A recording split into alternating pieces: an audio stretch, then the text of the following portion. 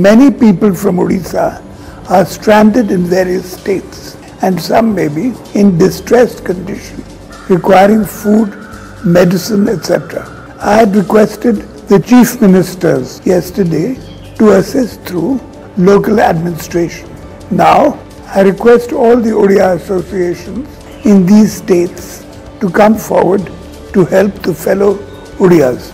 We will reimburse the costs from the Chief Minister's Relief Fund. Thank you.